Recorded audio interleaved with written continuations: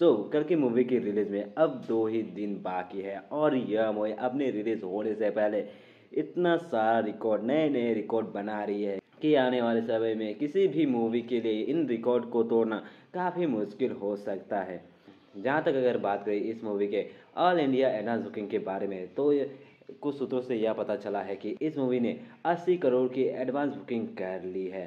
तो आप लोगों को पता होगा कि यूएसए में, यानी नॉर्थ अमेरिका में इसके सिर्फ़ प्रीमियर शो के लिए नब्बे हज़ार टिकट बिक चुके हैं।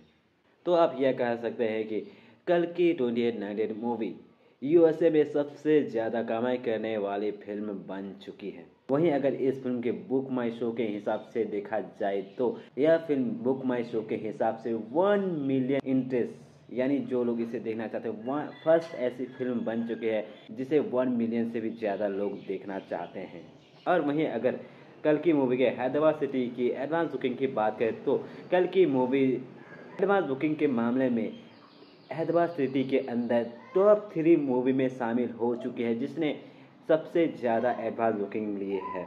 यहाँ पे हम लोग सिर्फ़ हैदराबाद सिटी की बात कर रहे हैं जहाँ जहाँ पे फ़र्स्ट मूवी है सलार जिसने एडवांस बुकिंग के मामले यानी फ़र्स्ट डे एडवांस बुकिंग के मामले बारह पॉइंट एलेवन करोड़ की एडवांस बुकिंग की थी। और वह, वहीं दूसरी मूवी है ट्रिपल आर जिसने हैदराबाद सिटी के अंदर एडवांस बुकिंग के मामले में ten point five seven crore की एडवांस बुकिंग की थी और वहीं तीसरे नंबर पर पहुँच चुकी है कल की जिसने 10 करोड़ की एडवांस बुकिंग कर ली है।